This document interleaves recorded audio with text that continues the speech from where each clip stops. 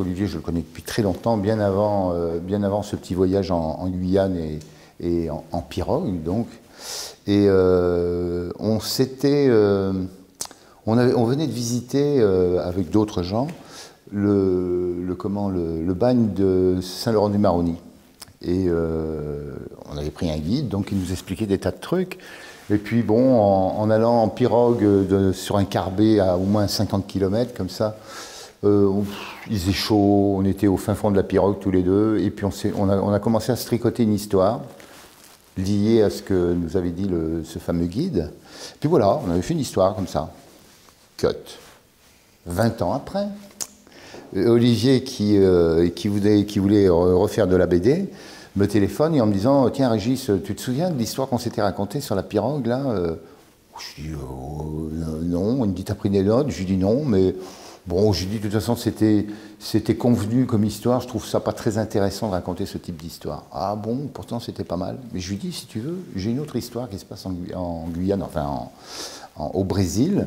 Et je commence à lui raconter un petit peu l'histoire, mais vraiment dans des grandes lignes, hein, parce qu'évidemment le scénario évoluait. Et c'est comme ça qu'on a commencé. Quoi. Donc comme ça lui plaisait, euh, on, est, parti pour, euh, pour cette aventure.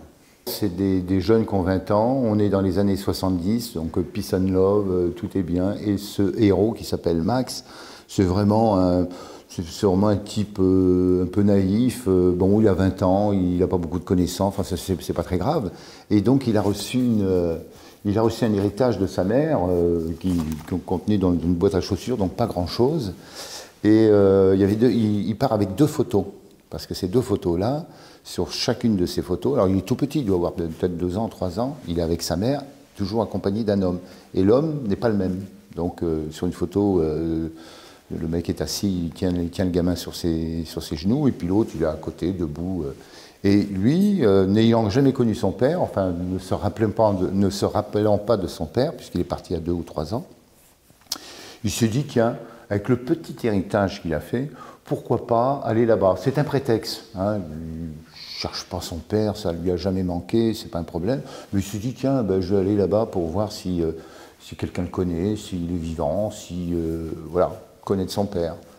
Et euh, donc effectivement, il a que, ces deux photos. Donc il enquête avec ces deux photos. Alors il y a des gens qui disent, ouais, ça me dit quelque chose. et puis il y a un moment, il y a une personne qui regarde et dit, lui je le connais pas, mais si c'est lui ton père, c'est vraiment un putain de salopard. Donc ça commence comme ça. Voilà. Alors pourquoi, pourquoi les années 70 Parce qu'on nous pose souvent la, question. Parce qu'il y avait ce côté un petit peu euh, bon enfant de, la jeunesse de cette époque, euh, donc peace and love, et puis euh, le fait qu'il n'y ait pas de portable. Ça veut dire pas de portable, pas de GPS, c'est-à-dire que comme ils vont être paumés dans la, jungle, on ne peut pas les retrouver. Voilà, donc.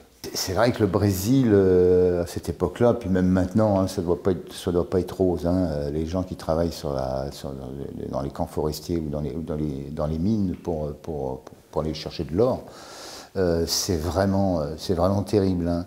Et donc à cette époque-là, ça devait être encore plus terrible. Et puis il y avait la construction de la, de la transamazonienne. donc en fait, il euh, ratissait toute, euh, toute la forêt, il euh, faisait détruire, il fait, donc ça, détruisait tout sur son passage, et surtout ils expropriaient les, comment, les, les peuplades qui habitaient là-bas.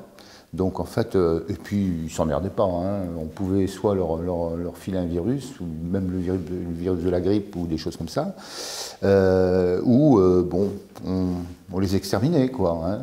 Et on utilisait souvent les femmes pour euh, justement pour les amener dans les pour faire de la prostitution dans les, dans les camps forestiers, les camps miniers. Voilà. Donc c'est pas des tendres. Hein. Les, les, les, gars qui bossent là-bas, euh, c'est pas des rigolos quoi.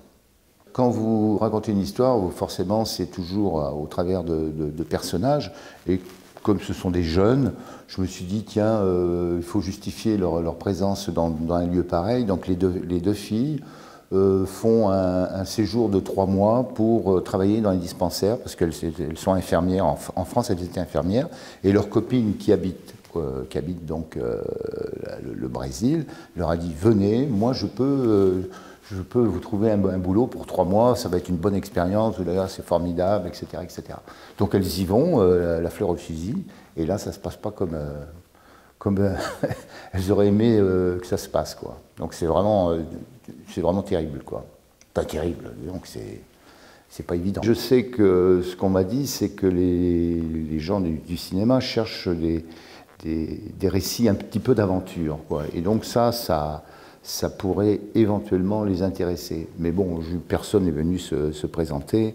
Et puis vous savez, le cinéma, ça va, ça vient. Moi, je me laisse pas, euh, pas berner par ce genre de, de, miroir aux alouettes, quoi, hein, puisque moi, on a voulu adapter Peter Pan, on a voulu adapter euh, le, Grand Mort, le magasin général et la quête, et rien n'a été fait. Quoi, il y a toujours des projets comme ça. Or, si, si ça intéresse les gens, euh, pourquoi pas?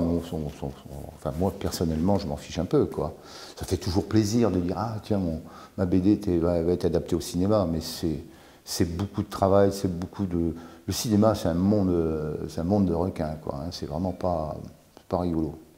Je suis terrifié par euh, tout ce qui est euh, amputation, machin comme ça. Et, c'est marrant parce que très souvent, effectivement, le capitaine Crochet, il y a, il y a, euh, il y a un manchot aussi dans Peter Pan, en dehors du capitaine Crochet.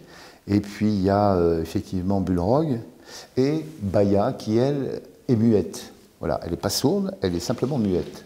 Donc c'est encore un handicap. Alors pourquoi? Je ne sais pas du tout. Hein. Je n'ai pas, réellement de réponse à ça. Euh, je trouve que c'est toujours, intéressant parce que même Clochette qui est, muette, hein, à part ding ding ding, euh, ding ding, c'est tout ce qu'elle dit. La personne en face, donc Peter Pan ou les autres, arrive à déchiffrer très, facilement euh, son, langage. Donc il répète ce qu'il a compris. Donc on, imagine que le dialogue euh, est, sourd peut-être, mais en fait, euh, eux le comprennent. Quoi. Et moi aussi.